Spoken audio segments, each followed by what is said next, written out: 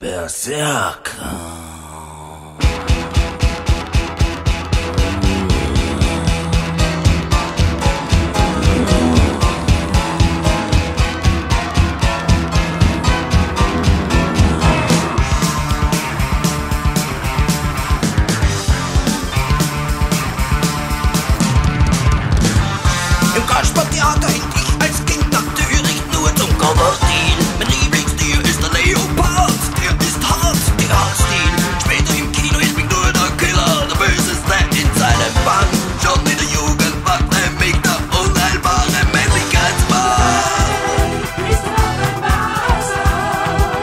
Als Kind nannte man mich Haserl.